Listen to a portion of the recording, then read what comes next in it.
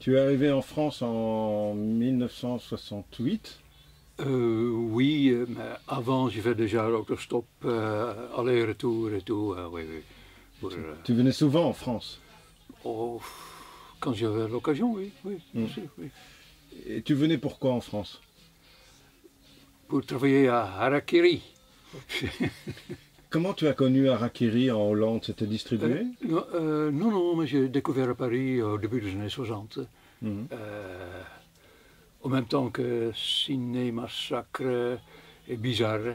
Et ça, cette ville où il y a des journaux comme ça, j'ai envie de habiter. Qui, qui t'a accueilli euh, chez Harakiri? Comment ça s'est passé l'arrivée à Euh, Harakiri? Kavana, Choron. Choron, le professeur. Mhm. Euh, tu te sens-tu, tu t'es toujours senti comme un dessinateur politique? Euh, aussi, euh, burlesque aussi. On peut tout faire dans ce métier, oui. Mais, euh, Par exemple, parlons des imbuvables. Oui, Euh, ah oui ça c'est autre chose. oui, ouais, oui. ouais. C'est de, dessin de, surtout de Libération et de Charlie Hebdo. mhm. Et bon, se centrer sur les deux personnages euh, de plus en vue demain, euh, Ted Bêche. Pourquoi ils sont imbuvables? Pourquoi imbuvables? Euh, je ne les aime pas.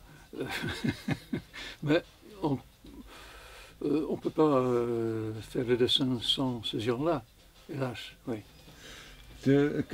Quand, tu dois faire un dessin, euh, co- comment, ça se passe? Comment vient l'idée? Euh, il n'y a pas de recette pour ça. Euh, ça peut venir d'une une phrase que j'entends à la radio, ou une,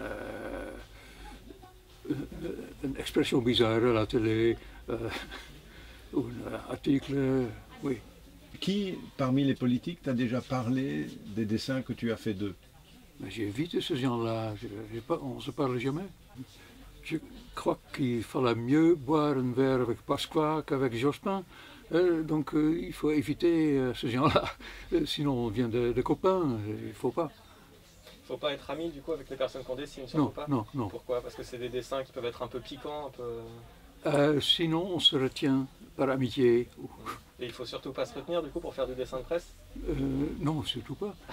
Euh, Il faut aller jusqu'au bout. Au fond, tu es un peu le dernier survivant des grands dessinateurs historiques de- de- de- d'Arakiri et de Charlie Hebdo, euh, puisque euh, Allez, ceux-là, oui. oui, ouais, oui, oui. malheureusement, tu- tu- ils sont tous disparus dans, la, dans le, le- Oui, euh, moi ça ne va pas durer longtemps non plus. Hein. Oui, mais enfin, quand même, tu as, tu as duré un peu plus longtemps qu'eux.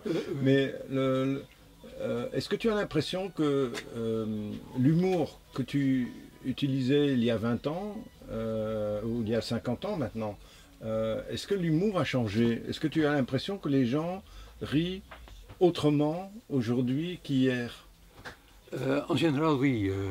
Les gens font plus attention pour ne pas heurter de, des autres. Et c'est quoi C'est une censure? Tu le ressens comme une censure? Je ressens ça comme une sorte d'autocensure chez le- les, gens, pas seulement les dessinateurs, mais euh, tout le monde. Ouais. Est-ce que tu es amené à faire beaucoup de dessins? Par exemple, quand tu fais un dessin pour Libération. Est-ce que tu en envoies quatre euh, pour qu'ils en choisissent un? Deux. deux. Tous les jours, deux. Explique-moi, comment, dans- pourquoi deux dessins Comme ça, on ne m'emmerde pas. Après, euh, ils choisissent. Il y a longtemps que tu as quitté Paris maintenant Euh, Euh, une dizaine d'années, douze, oui, oui.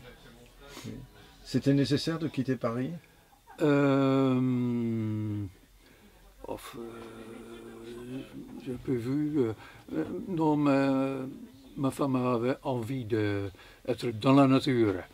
Donc on est euh, dans une petite île euh, à côté de Bretagne maintenant. Et les- les- Tu n'as pas de nostalgie de la Hollande? Non, pas du tout. Non, euh, parfois je, je reviens à Amsterdam. euh, euh, tous mes amis d'autrefois sont en vacances ou ils sont morts.